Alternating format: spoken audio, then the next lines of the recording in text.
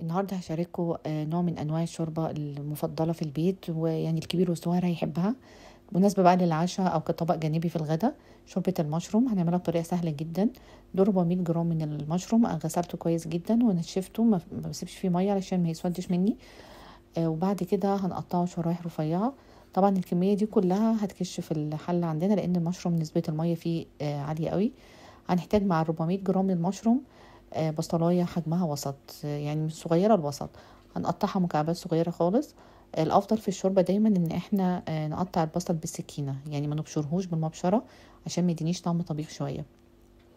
في حلة على النار هنحط معلقة كبيرة من الزبدة ومعلقة كبيرة من زيت الزيتون وهننزل بالبصل على طول هنقلب بس تقلبتين كده لحد البصل ما تلاقوه بدأ يدبل ما بيتحمرش معايا خالص.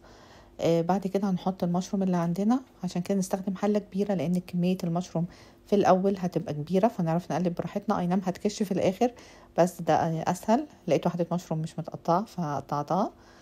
آه بعد كده نحط فص توم آه مفروم ناعم. أنا مش بحطه في الأول مع البصل عشان مش عايزاه ياخد أي آه، لون خالص. احطه أقلبه مع المشروم. وممكن تزودوا عن فص توم بس أنا بالنسبة لي كفاية قوي فص مع الكمية دي. وهنحط بقى رشة من الفلفل الأسود وربع معلقة صغيرة من الملح. هنظبط في الآخر كمية الملح.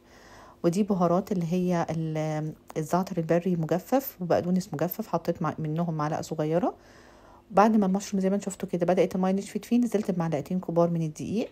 وهنقلب تقليبتين حلوين كده لحد ما الدقيق يستوي. بس كده خلاص يعني تقريبا المشروم استوى. هنحط بقى ممكن تحطوا شوربة مرقة آه، جاهزة عندكم مرقة فراخ. أنا استخدمت هنا مية. ومعاه مكعب من المرقة الجاهزة اللي هي مرقة الفراخ. وهنقلبهم بعد كده هنسيبهم على النار تقريبا شوية خمس دقايق لعشر دقايق لحد ما تلاقوا يعني الخليط كده بقى سميك عندكم. كده. تمام. هاخد بس كبشة واحدة على جنب عشان ازوق بيها الطبق في الآخر. وهنحط بعد كده كوباية من الكريمة الخفق أو لو حابين تحطوا قشطة تخففوها بشوية لبن أو معلقة أو كوباية لبن وعليها متدوب فيها معلقة آه، كبيرة من النشا. يعني أي حاجة عندكم مناسبه أنا استخدمت كوباية من الكريمة.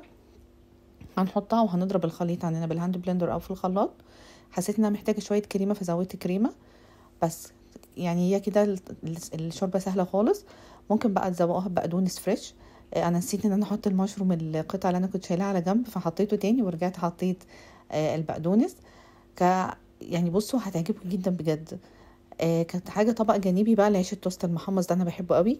آه، جبت معلقتين كبار من الزبدة ومعاهم فص ثوم مفروم ناعم آه، وشوية من البازل اللي هو الريحان المجفف.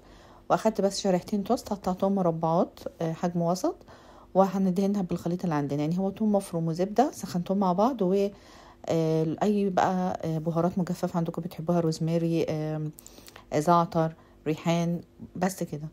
وهندهن بيها ال- العيش التوست اللي عندنا وهندخله الفرن على درجة حرارة 200 مش هياخد أكتر من ربع ساعة في الفرن. برضو بنفتح عليه ونقلبه الناحية التانية. بصوا بقى كحاجة كده جنب ال- الشوربة طعمه خطير جدا بجد هتعجبكم آه، ما تنسوش بقى لو أنتم مش مشتركين في القناة تشتركوا وتعملوا لايك